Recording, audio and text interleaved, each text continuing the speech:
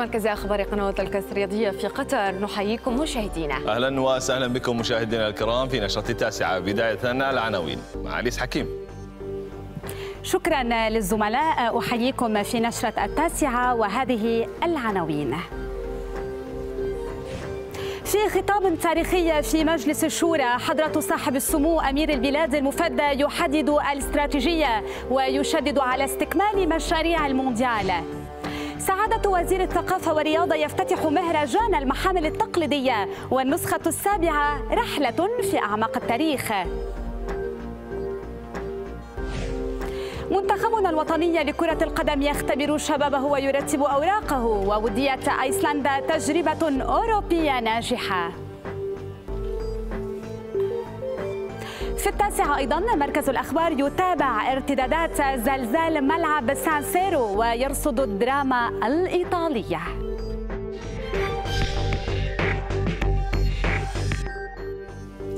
شكرا لك أليس. مشاهدينا أهلا بكم. أكد أيضا حضرة صاحب السمو الشيخ تميم بن حمد الثاني أمير البلاد المفدى أن دولة قطر حققت سلسلة من الإنجازات والمكاسب رغم محاولات دول الحصار تعطيلها وعرقلتها. جاء ذلك في خطاب حضرة صاحب السمو أمير البلاد المفدى في افتتاح الدورة السادسة والأربعين لمجلس الشورى حيث أكد سموه أن الشائعات والافتراءات طالت استضافة دولة قطر لنهائية كأس العالم لعام 2022 تحققت هذه الإنجازات على الرغم من بذل دول الحصار جهودا متواصلة لتعطيلها وعرقلتها بوسائل متعددة بدءا من إجراءات الحصار نفسه مرورا بالضغط على الدول الأخرى وحتى نشر الشائعات والافتراءات والعمل ضد استضافة قطر كأس العالم عام 2022 من جهة أخرى حدد حضرة صاحب السمو الشيخ تميم بن حمد الثاني أمير البلاد المفدى حدد استراتيجية دولة قطر لتحسين الاقتصاد الوطني من منطلق الإدراك بوجود وضع جديد. لابد من التعامل معه. نعم فيصل في هذا الإطار شدد حضرة صاحب السمو أمير البلاد المفدى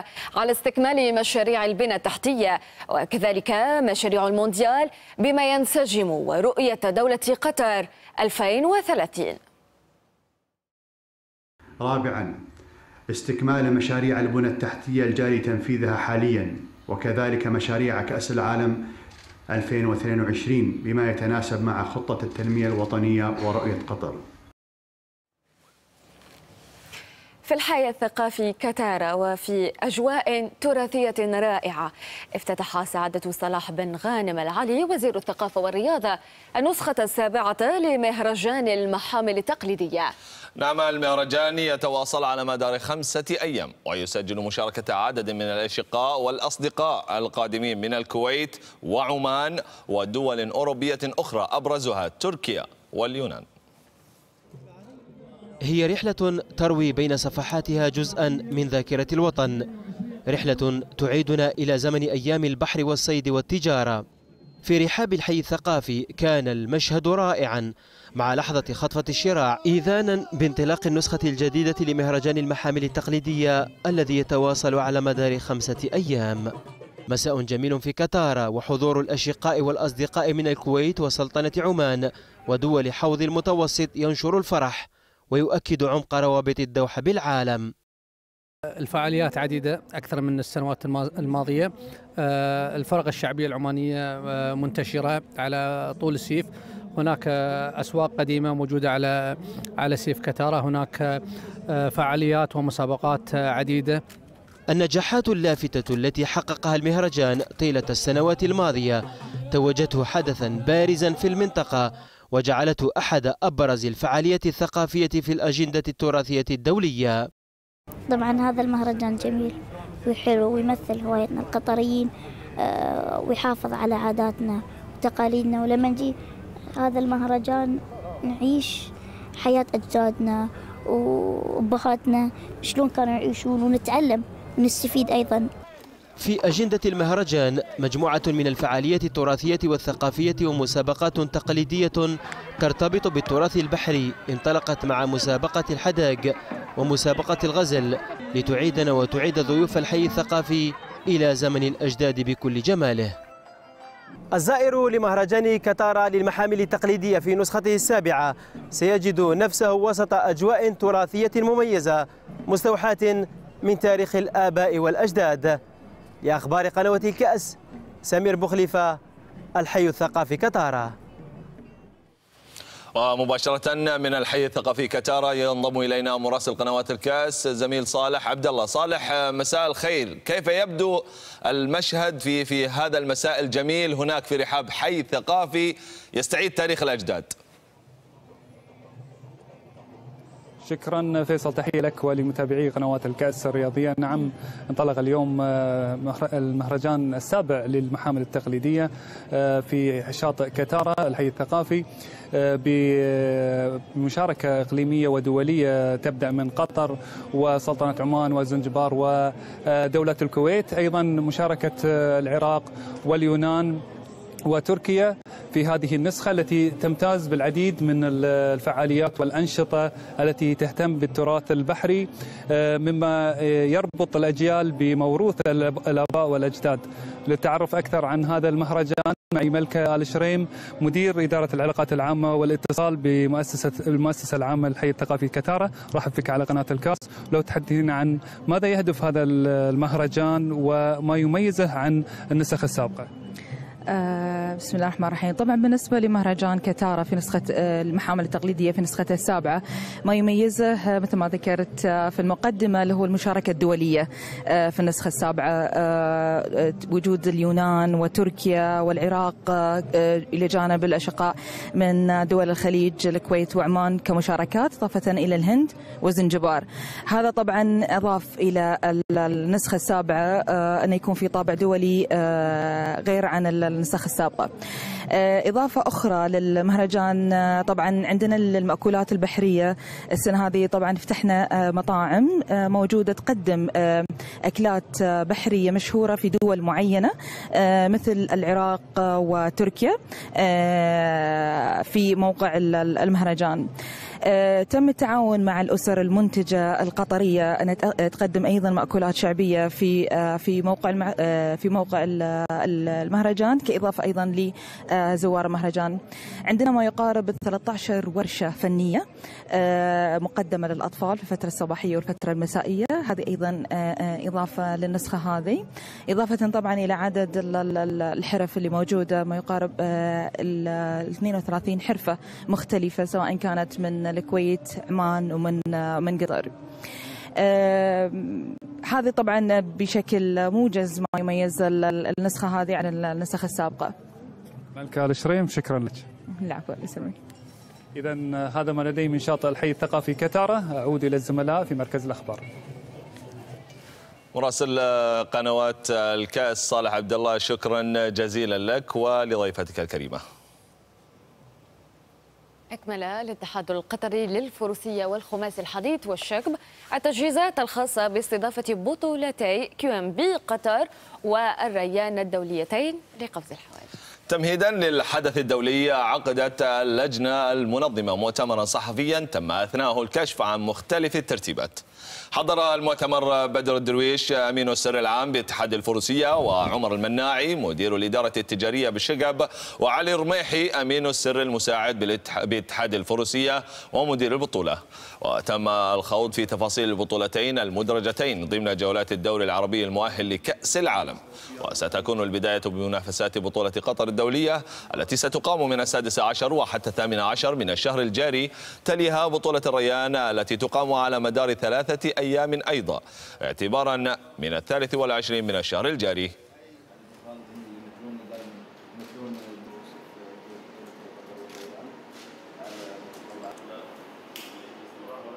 طبعا هي جولة من جولات الدوري العربي طبعا المؤهلة لكأس العالم اللي بيكون في باريس إن شاء الله 2018 عدد المشاركين الحمد لله عندنا ناس مشاركين من ال Global Champions Tour مشاركين في بطولتنا وعندنا الشيخ علي بن خالد أيضا باسم بطل ال Global اللي فات. كلهم مشاركين. نتمنى لهم التوفيق. وإن شاء الله تكون يعني فيها المنافسة القوية إن شاء الله. تحت إشراف الأكاديمية الأولمبية القطرية انطلقت ورشة التثقيف الأولمبي. تجمع الورشة حوالي 50 دارسا من موظفي إدارات اللجنة الأولمبية والمؤسسات والاتحادات الرياضية. قدم هذه الدورة مدير برنامج علوم الرياضة في كلية الأداب والعلوم بجامعة قطر محفوظ عمارة. هذا وتأتي الورشة ضمن سلسلة من الدورات التثقيفية التي تبنتها الأكاديمية الأولمبية القطرية ضمن المسؤولية المجتمعية لتثقيف المجتمع وتسليط الضوء على ميثاق وقيم الحركة الأولمبية فضلا عن مواضيع أخرى. الزائر لما يجي فلما نقول إحنا هل ولما يعني كان في جيل طبعا ورشة التثقيف الأولمبي من أهم البرامج اللي تقدمها الأكاديمية الأولمبية القطرية. هي هامة للمجتمع بشكل عام وقطاع الرياضة بشكل خاص. آه، من خلال هذه الورشة إحنا نبث القيم الأولمبية ونذكر الناس فيها على أساسيات إقامة الرياضة ومنها طبعا الأخلاق والإحترام والتميز. وأيضا تنبثق منها أمور كثيرة. من خلال هذه الورشة أيضا آه، نقوم بإرساء القيم الأولمبية آه، في المجتمع. يقترب منتخبنا الوطني لكرة القدم من اختتام تجربة دولية ودية ثانية في إطار استعداداته لسلسلة من الاستحقاقات المهمة. المنتخب يواجه ضيفه الأيسلندي والمباراة كانت اختبارا مفيدا وموعدا لترتيب الصفوف. بتشكيلة ضمت عددا من الوجوه الشابة دخل منتخبنا الوطني هذه المباراة في ملعب عبد الله بن خليفة بمدينة دحيل. لكن الأفضلية كانت للضيف الأوروبي الذي انتظر الدقيقة السادسة بعد العشرين ليسجل هدفا ألقى بظلاله على الشوط الأول. ويلعب في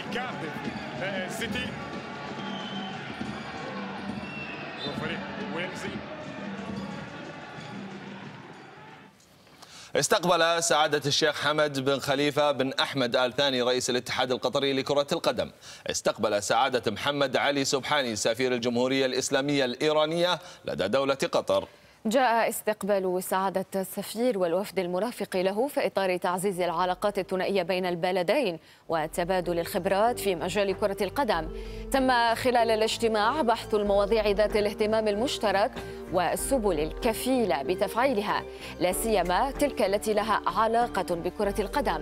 كما تم الاتفاق على تدعيم أواصر الصداقة التي تربط بين الطرفين وبحث سبل تطويرها بما يخدم منظومة كرة القدم في كل من قطر وإيران. هذا وأشار سعادة السفير محمد علي سبحاني أن الدوحة باتت من أهم المدن الرياضية على الساحة العالمية معربا عن سعادته بتعميق العلاقة الكروية.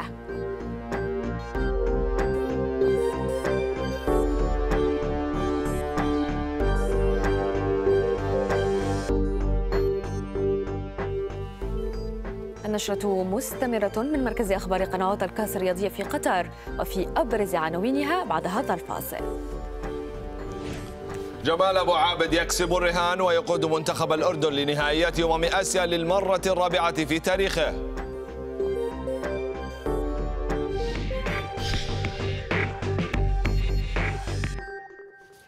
أهلا بكم من جديد. حجز منتخب الأردن بطاقة إلى نهائية أمم آسيا لكرة القدم لعام 2019 بعد الفوز على مضيفه منتخب كمبوديا بهدف دون مقابل.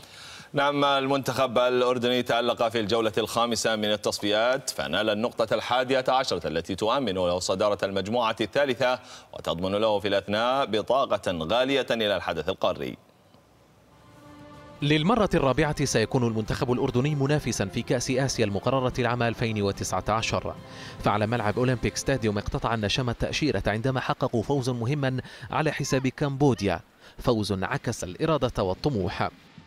لم ينتظر الضيوف كثيرا قبل إطلاق عنان الفرحة. تمريرة حاسمة من فراس شلبايا لمنذر أبو عمارة كانت كفيلة بوضع الأردن في المقدمة عند الدقيقة السابعة عشر.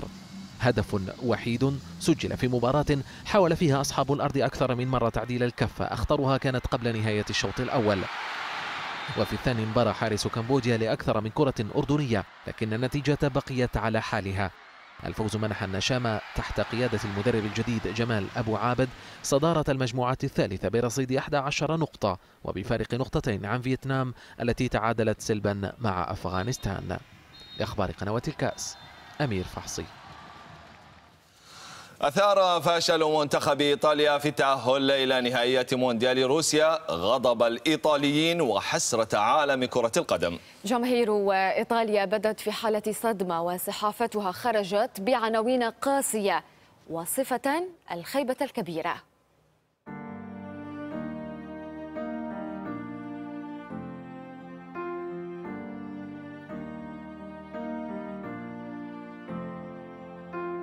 أعذار كثيرة والحكاية واحدة. مونديال دون إيطاليا أو بالأحرى. إيطاليا دون مونديال. تاريخ مجيد لم يشفع وحاضر أليم لن ينفع. فشل فصدمة ثم خيبة أمل سادت إيطاليا بل العالم أجمع. حسرة ودموع والحزن عميق في نفوس مكونات الأتزور ومحيطه. صداه دوى خارج إيطاليا عابرا للقارات. الأزرق عجز عن بلوغ نهائيات اعتاد حضورها والإخفاق هو الأول منذ ستة عقود من الزمن. حدث تعاملت معه صحافة إيطاليا بمثل قساوة الإقصاء. تباينت العناوين في الوصف لكنها اتفقت على ضرورة إحداث تغيير في المنظومة كلها. قائلة فنتورا سيذهب لكن يجب ألا يكون الوحيد. هي قفزة إلى الوراء. عجلت باعتزال كثيرين. في مقدمتهم أفضل حارس مرمى في العالم جان لويجي بوفون. بطل العالم عام 2006 في قلب ألمانيا الذي تمنى خوض موندياله السادس لكن دون جدوى. إيطاليا سقطت لكنها عودت العالم على سرعة الارتقاء من جديد فيكفي كبرياؤها وتصميمها. في انتظار النهوض مجددا يفتقد العالم أناقة إيطاليا في مونديال روسيا. لعلها تستعيد عالميتها في قطر عام 2022 لأخبار قنوات الكاس محمد المهدي الراضي الدوحة. حدث ما كانت تخشاه إيطاليا فتعرض ملعب سانسيرو لزلزال. ستكون له ارتدادات في قادم الأيام. المنتخب السويدي ضرب الإيطاليين في عقر دارهم فحكم على جيل كامل بعدم الذهاب إلى روسيا وأنهى مسيرة بوفون بمشاهد دراماتيكية. تفاصيل ما قبل وما بعد ليلة ميلانو مع أليس حكيم. تفضل يا أليس. شكرا للزملاء في مركز الأخبار وأهلا بكم مشاهدينا الكرام. بدموعه قدم الحارس الإيطالي الأسطوري جان لويجي بوفون اعتذاره لعشاق الكرة الإيطالية بعد الإخفاق في التأهل لنهائيات كأس العالم الصيف المقبل في روسيا. المنتخب الإيطالي لكرة القدم سيتغيب عن نهائيات كأس العالم لأول مرة منذ 60 سنة ولم تغب إيطاليا عن كأس العالم منذ نسخة 1958 في السويد. وفشلت بطلة العالم أربع مرات في التأهل للمرة الثالثة بعد عام 1930 عندما قررت عدم المشاركة في النسخة الأولى في الأوروغواي. ويعد المنتخب الإيطالي الإيطالية ثانية أكثر منتخب مشاركة في تاريخ كأس العالم بعد البرازيل بثمانية عشرة مشاركة.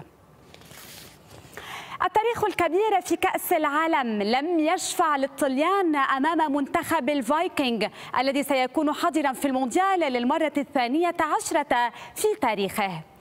وتحصلت إيطاليا على لقب كأس العالم في أربع دورات هي دورة 1934 التي جرت في إيطاليا حيث كانت أول منتخب أوروبي يفوز بكأس العالم. وفي عام 1938 تحصل المنتخب الإيطالي على ثاني تتويج له بكأس العالم التي جرت وقائعها في فرنسا. وكانت دورة 1900 1982 التي أقيمت بإسبانيا ثالث محطة للإيطاليين في حصولهم على الكأس العالمية حينما تجاوزوا المنتخب الألماني بثلاثة أهداف مقابل هدف وحيد في العاصمة مدريد. وكان مونديال 2006 في ألمانيا آخر محطة لفوز الإيطاليين بكأس العالم. وهو الجيل الذي كان العملاق بوفون آخر لاعبيه على الإطلاق في المنتخب الحالي.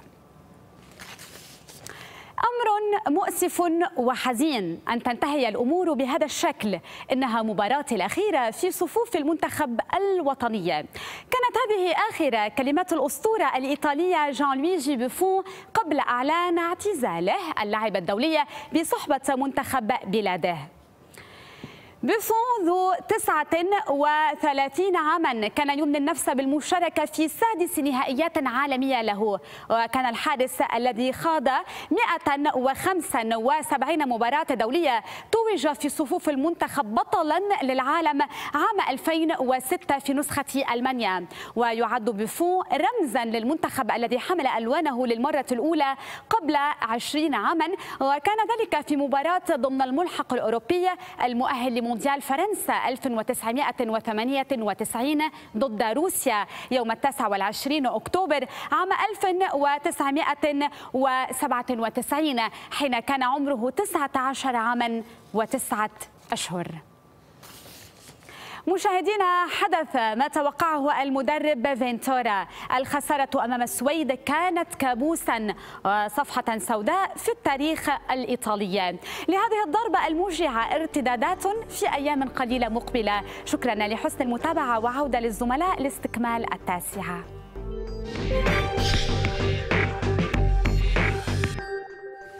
شكرا لك يا ليس آخر بطاقات القارة العجوز إلى مونديال روسيا سيكشف عنها الليلة حين تستضيف دبلن اليوم حوارا كبيرا بين منتخب أيرلندا وضيفه الدنماركي في مباراة العودة. وينطلق المنتخب الإيرلندي بحظوظ وفيرة لخطف بطاقة التأهل نحو المونديال بعد أن انتهت مباراة الذهاب بالتعادل دون أهداف. قبل ضربة البداية عبر مارتن أونيل مدرب منتخب إيرلندا عن حذره الشديد من الضيف الدنماركي الذي يملك أسماء قادرة على إحداث المفاجأة على حد تعبيره. ويتطلع المنتخب الإيرلندي لخطف بطاقة التأهل للمرة الرابعة في تاريخه. في حين يسعى المنتخب الدنماركي للفوز على صاحب الأرض وانتزاع تأشيرة إلى روسيا.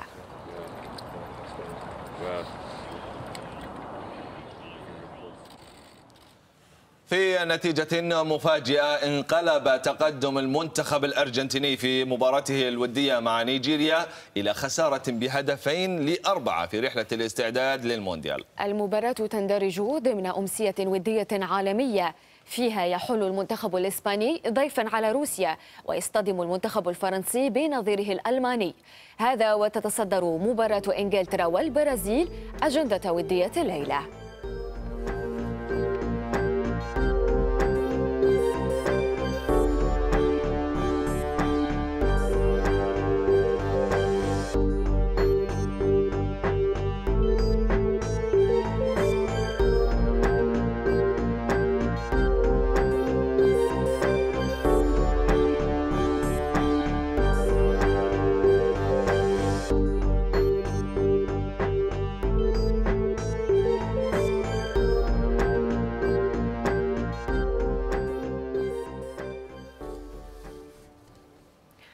كشف المصنف الأول عالميا رافائيل نادال أسباب انسحابه من ماسترز لندن الختامي للتنس بعد خسارته في المباراة الأولى أمام البلجيكي دافيد غوفان نعم قال نادال إن إصابة على مستوى الركبة أجبرته على اتخاذ القرار الصعب رغم محاولاته المقاومة والبقاء في البطولة.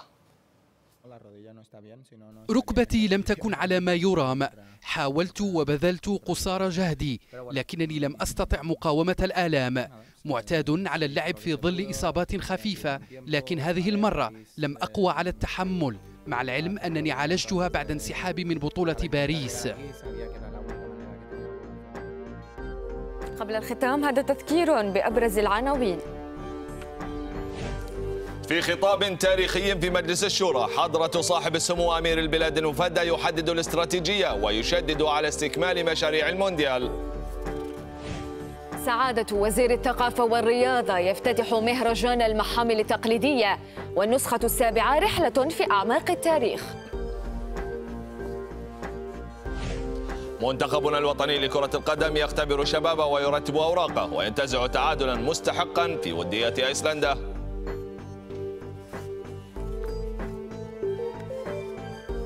كان في التاسعة أيضا جمال أبو عابد يكسب الرهان ويقود منتخب الأردن لنهائية أمم آسيا للمرة الرابعة في تاريخه.